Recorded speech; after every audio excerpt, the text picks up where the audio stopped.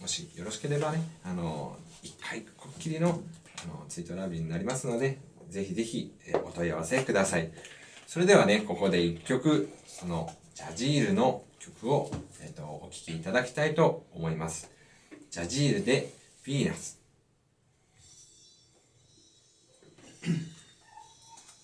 次、結構声張ってしゃべるんですね 結構そうですねトーンはワントーン上げて上げてる感じなんで。はい。石井君こもるから。そうだね。俺もこもるんだけど。ははいを聞かしたい。い。アコライザーかけてちょっと自分のここにちょっとキュッキュッつ攻撃を上げとかここに誰か人間がいてこの人に話しかけるんですよあはい。ちょっと高めにヤマハに話しかけてんじゃんヤマハさんにいや、だから普段の声ラジオだから必ず向こう側に誰かがいると、うん。その人に向かってまあい一対一でそうですね。ちょっと声色もちょっと高めに。裏返っちゃダメだよ。そうよそ行きの声が一しない番怖いですね。おかっこいいこの曲。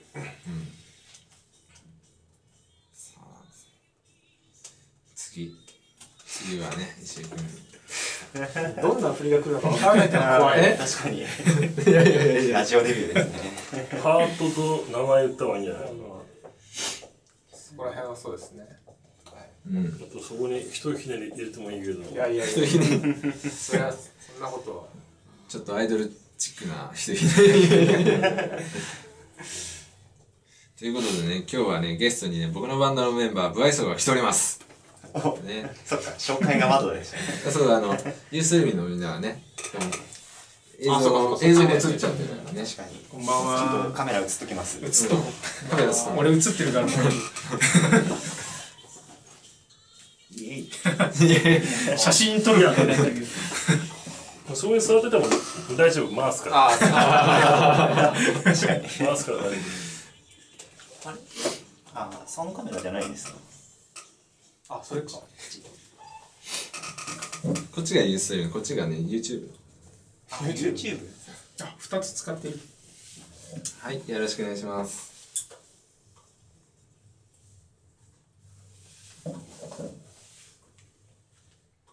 はい、お聴きいただいた曲は、ジャジールでヴィーナス。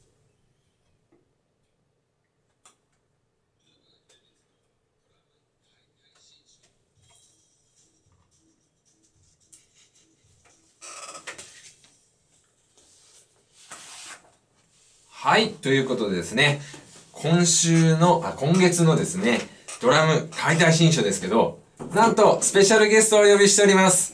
このゲストは、僕のバンド、ブアイソーのベースの石井くんどうも。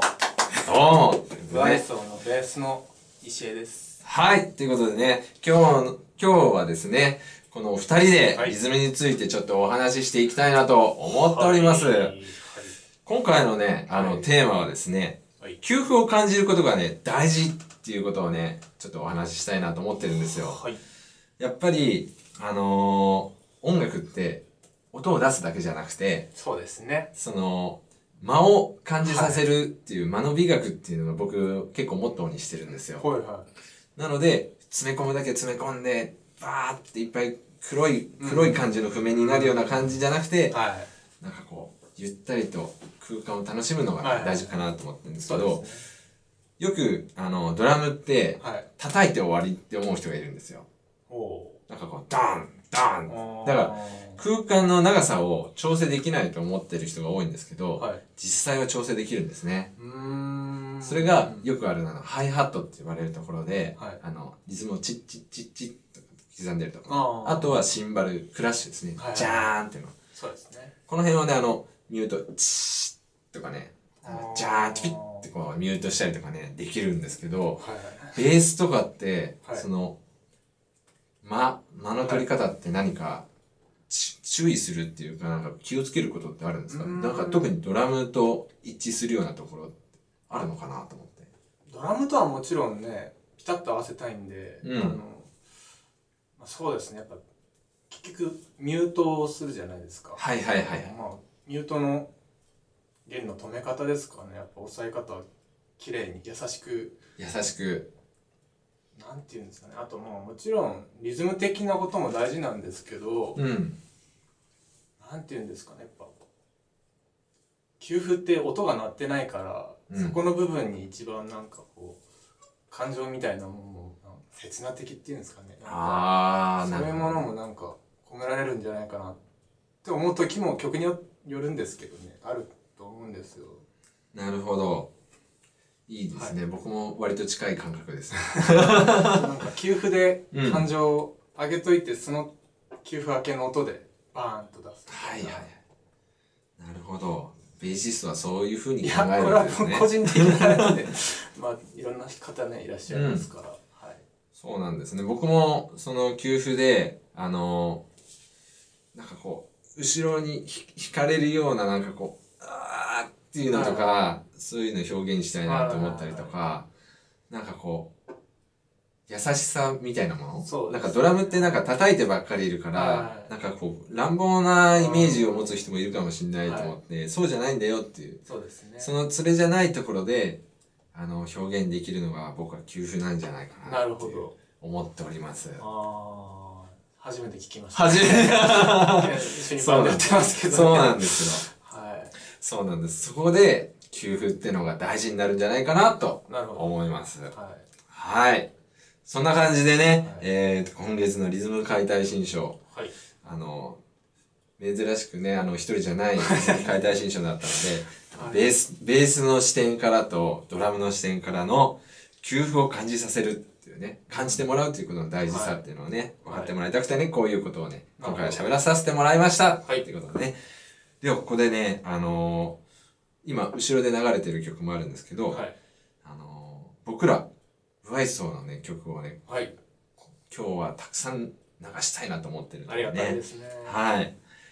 ここでね、はい僕らのね、代表曲のね、まあ代表曲というかね、昔からやってる曲なんですけど、それをまず聴いていただきたいなと思っております。はい。はい。ではここでは、えー、それではね、一曲お聴きください。ブワイソーで、スターループ。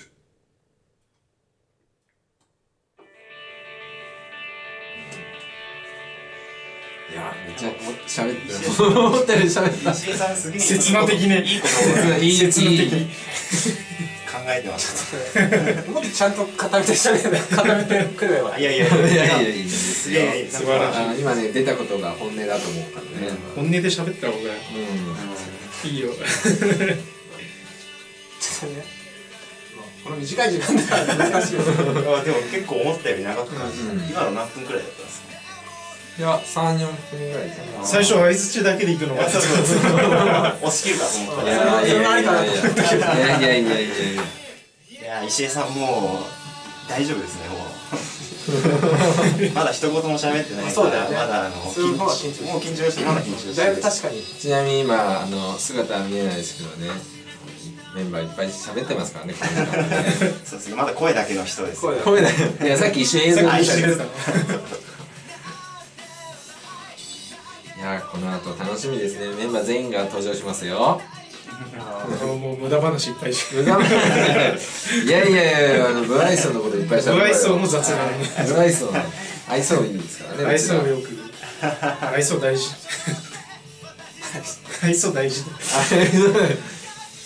ね、そういう。人と会ったらまず笑顔挨拶。うん、その辺のこともねちょっとねこの後喋っていきたいと思います。うん。そうなんですよ。普段のあの僕の知ってると思う分かると思うんですけどあんま喋んないよね。まあね。意外にら喋る時はね喋るんですよ。酒飲んでもあんま喋らない。そう。ねはい。よろしくお願いします違う酒酒飲むと喋る時はすげえ喋る。止まんなくなるはい。お聴きいただいた曲はブワイソーでスターループ。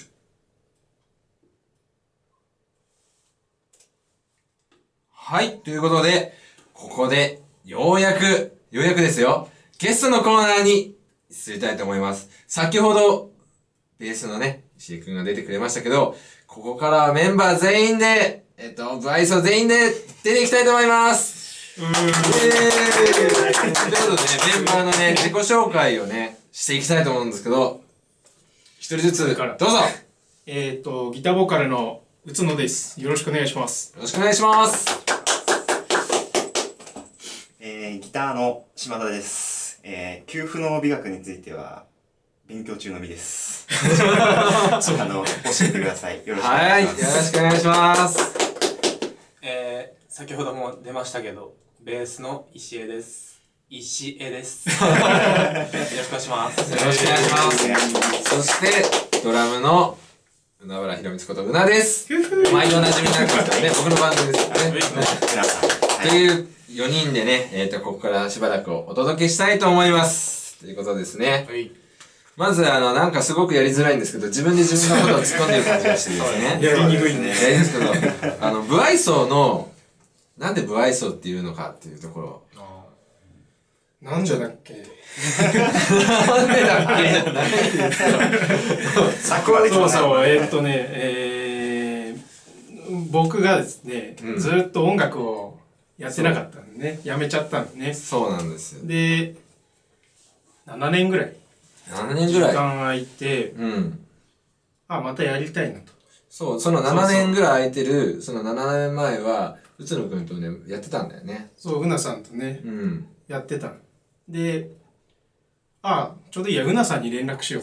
7年経って。そう、7年経って。で、合わせたんだよね、スタジオで音を。そうそうそうそうそう。で、合わせたんだけど、うん。すごい下手になってて、結構覚えてる。どうする？やめとく？みたいな 話になって、で、喫茶店に行って、そう。ちょっとね、考えようかなと思ってね。ちょっとやるかどうか考えよう。まあ、とりあえず久々に会ったし、まあまあまあ。雑談でもしようか。そうそうそうそう。で、それで話してる時に、俺さ、会社で不愛想なやつだなって言われたんだよね、つって。だからもうバンド名不愛想でいいと思うんだよ。いいね、それ。ってね。そう。それ、来たと思って。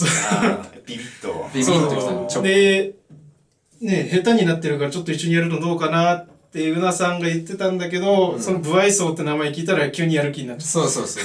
そその、そこからね、そうそこから直感、た。うんインスピレーションで、これ来たと思った。そうそうそう。そ、そこから不愛想っていう名前がうんそう出てきてですよ、バンドが始まったんですね。はい。うん確かに。僕、そう、途中から入って、うんまあバンド名、ブアイソーって聞いて、うもうちょっと思ったことは、あのー、某ジャニーズの、あのー、ブ、ブなんとかクールみたいな、にすごい近くて、ちょっと最初は自分のバンド名などのちょっと恥ずかしかったんですけど、そううん今になってはすごい慣れましたね。ん。うん。なるほど。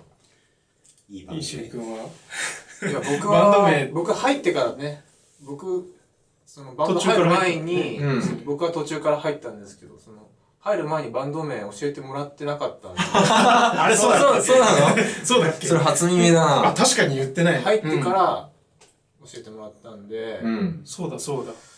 なんだこんなバンド名だったんだいや嘘です いやでもうん。漢字ってところがうんうん。確かにかっこいいなと確かに。結構今、アルファベットばっかですからね。そうなんだようんね。日本人だから日本語で行きたかったんだよ。確かに。ね、そこで、不愛想でね。そうその不愛想の漢字だけちょっと悩んだね。悩んだ。その喫茶店でずーっと漢字をうん1時ひたすらか間ぐらい。そう1時間ぐらい確かに。あでもすごく考えたんだよね。音楽っぽい感じが入ってて。そううん。譜面の譜をぶって読むしかないだろう。そう、無理やりやっうんた。、確かに。そうなんです。だから造語なんですね、この漢字は。でも初見では読めないですね。そう、その音符がこう、相まって奏でられるっていう意味で不愛想にしたの。ああ、よく考確えられてる。よく考えられてる今思ってもね、確かに関心ですね。感心しますねそうそう、これね、頑張って考えたんで、すごい頑張っ誇りに思いまた。す。そう、誇りに思って、うん恥ずかしさなんかないから。恥ずかしさないですね。今、ゼロになりました。そうですね。そしてあの、不愛想ってね、こう、響きだけ聞くと、なんだって思うけど、今聞いてもらってるように、めっちゃ明るいですから。一人もいないっていう、そうですね。今みんな笑顔ですからね。さっきもね、話してたけど、まず人の基本は笑顔挨拶だからね。そこができないとね、大人だから。うち社会人バンドだから、確かに。なおさらそこ大事なんですよ。そうそうそう。そうなんですよ。ね、うん3人は、あのー普段はね、働いてて、はい、会社員で。会社そうそうその中でもあのそういう働いてても、こんだけできるんだぜっていう、そうですね。そうそうそういうのやりたくってね、うんうんコンセプトというか。こうなんていうのかなこう社会みんなねこう夢を見せるもんだからあまりうん時間ないよね、大丈夫です そうそう夢を与えるものだから日常を見せたくないっていうのがバンドの基本だと思うんだけど、うちはこう社会人やっててもね、こうバンドできるよ、うん。かっこいいものできるよと、うん、確かに。そういうのをね見せていきたいからそでもそれもね夢だと思う。そうそれも夢、ううん。そうですよね。うん。確かに。で、なんか、楽器しまっちゃった人だとか、昔そうそう大学の時バンドやってたけど、楽器しまっちゃった人とか、うん。音楽、我々の音楽聴いて、うん。あこんな社会人やりながらこんなかっこいいのできるんだ。う、もうん一そう回楽器出してもらえたら、はい。そう思ってもらえたらこうバンドやってる意味あるな、うん。それが目標で確かに。ね組んだバンドだから。そういう声募集中ですね。そういう。ねそういうちゃんとライブも定期的にやってるし。そうそうそう。今度だってね、あのー来月9月20日はだって新京音、うん。まあ僕が、あのイベントー仲間をね、うん。呼ぶ、呼んで集めてね、うん。あのー主催してるイベントなんですけど、うん。そこにもちろんブアイスも出ますからね。出ますはい。しっかりやりますね。しっかりやります。もちろんしっかりやるそうです。ね。いい曲しっかりやりますい。い曲来た。いい曲といえばねあのー僕、宇野くんの作る曲、すごい好きで。おおー。素晴らしいいいこと言った。いやいや、まあこの後もね、聴いてもらおうかなと思ってる曲があるんだけど、うん。それについてね、ちょっとね、あの、作曲者の観点からどうやって作ったんだろうとか聞きたいんだけどさ。だって曲の意味、曲の意味とか。うん。あのね「かけら」かけらっていう曲をねこの後聴いていただくんですけれども、あの普段生活して悩んでることとか過去にあったこととかねその心のどっかに引っかかってるものなどをこういろんなことひっくるめてうん。自分そういう自分も認めてあげてちょっと一歩前に進む曲です。は まあ、あんま深く言うと人それぞれ捉え方違うんで、うんあんま深く言いたくないんですけど、まあそんな曲です。なるほどね。この曲はね、もう、その、さっき言った7年間ブランクの前からずっとやってて、10年前に作った曲ですね。そうね。なんか色あせないなと思って僕すごい好きなんですよ。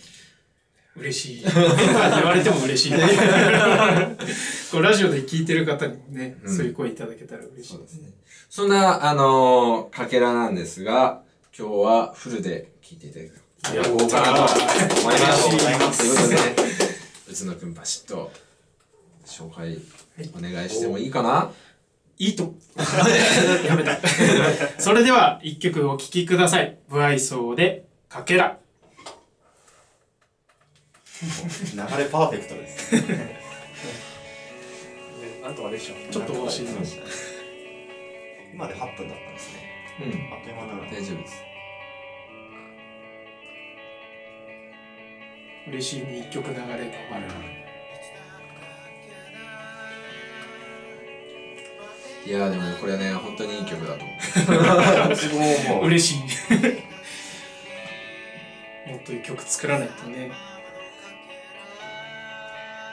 空っぽもいい曲だと思う、うん。最近作ったやそうなんですよ。つ、うん。最近作ってこの、このメンバーで作ってる曲が、あの、まだね、どんどんいい曲生まれますんでね。いっ。ぱい出てくるから聴いてください。そして今ね、あの、フレンドリーでも不愛想っていうデモ CD があるんですけど、またね、新しくね、どんどん曲をね、お届けしたいなと。そうですね。セカンド CD。作ってるしね、うん作り始めたからね。この情報は今、ユーストリームと YouTube で聞いてる人だけにしかわからない情報です。そうですね。なのでね、これはね、ぜひ楽しみにして待っててもらいたいですよ。うん。新曲3曲3曲？3曲入りあれ？ああ、そう。新しい。はい。あ1曲新曲じゃない 何度かやっちゃったよね違う新曲3曲と既存の曲1曲でもいいそう、新、新音源。新音源新音源。年内にできるといいねあとあれじゃないですか。ボーナストラックも入れたいです、ボーナストラックね。はい。秘密のボーナストラック。秘密のボーナストラック、どこにあるかわかんない。わいや、わかるでしょ。かんない。かも。もうまさかのメンバーがいるからね。ボーカルがまさか確かに。99トラック目とかに入れたいです。もうこうやって緩く9トね。ラック目4トラックから95トラックは空空で。こうやって緩くやってきてるそうですね。そうなんですよいいね曲ね。いいな。かけらいい曲だな、自画自賛。自画自賛。自画自賛。いいな。ぜひねあのこれはラジオの再放送でもフルで聴けるのでね。あっちで聴いてもらいたい聞いてほしいですね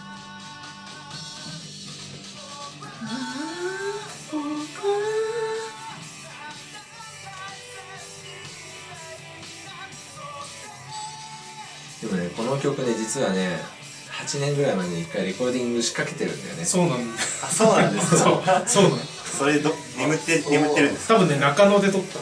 え中野のあの地下のスタジオ。ーやりかけの音源とかはあるんですか？今。ない。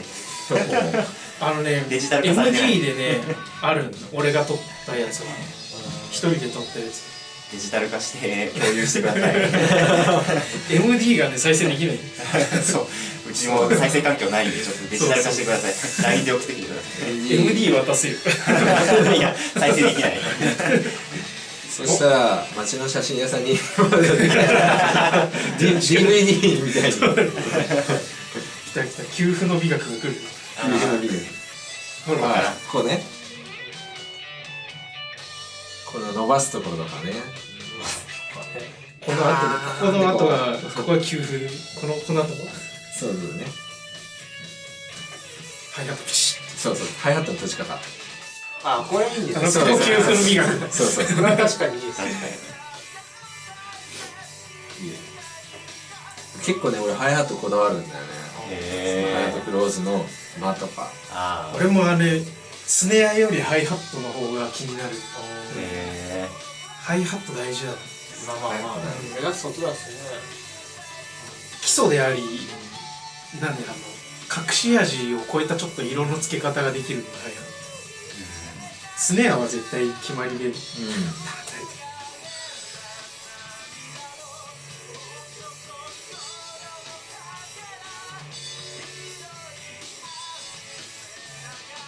あ終わる。最後はじゃあ1分ぐらいで。バイバイ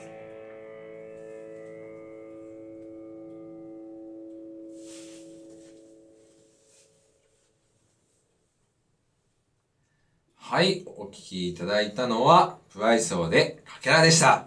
ということで、エンディングですよ。どうでしたか、どうでしたかって言っても、メンバーにこんな、どうでした？かどうだった？楽しかった。また出たいです。まだ出たい。その時はね、ぜひ、あれですよ。まあ、あれですよっていう言い方もなんか気持ち悪くなってきたけど、あれだけど、あの、次の音源出したらね、うん、次の音源出した時またね、あの、メンバーで出たいなと僕思うんです。で新曲をうん。また流したいですね。聴いていただきたいですね。はい。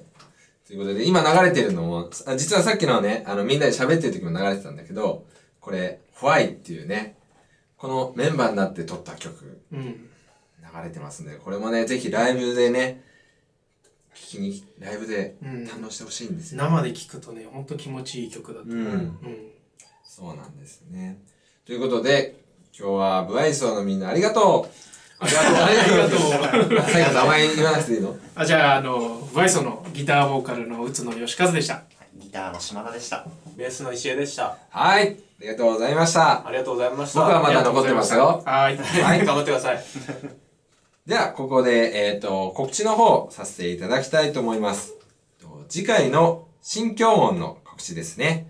次回の新京音ですが、えー9月の20日日曜日、川崎セルビアンナイトにて行われます。ドリームキングダムプレゼント新京音ボリューム6、6ですね。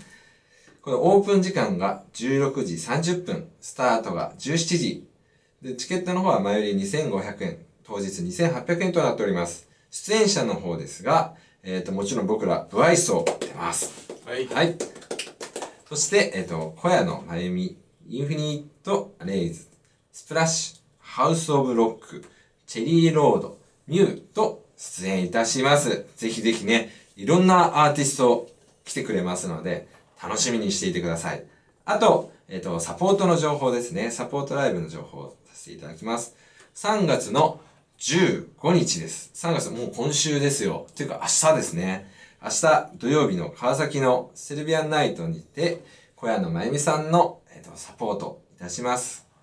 こちらの方は、えっ、と、ドラムではなくてね、パーカッションの方でサポートいたします。っていうことですね。あとはね、あ、失礼しました。えっ、と、8月の15ですね。失礼いたしました。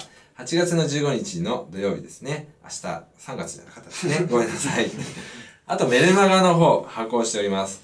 メルマガの方は、えっ、と、僕の個人ホームページですね。オフィシャルホームページ、うな、うなウェーブっていうブログ、えーホームページあるんですけど、えっ、と、カタカナでドラマで、アルファベットで UNA って調べると、バッと出てきます。そちらの方で、えっ、と、メールマガジンの登録フォームありますので、ぜひよろしくお願いいたします。ということでですね、えっ、と、あっという間の時間でしたけど、次回の放送日ですね。次の放送日は、9月の11日、9月の11日ですね。第2金曜日の19時からになります。それでは、えっ、とですね、9月の11日、えっ、と、また会えることを楽しみにしております。それでは皆さん、良い週末をお過ごしください。さようなら流れてるのはブアイソのホワイです。です。もお疲れ様でした。うありがとうございました。ラーメンの話しなかった。確かに。確かに。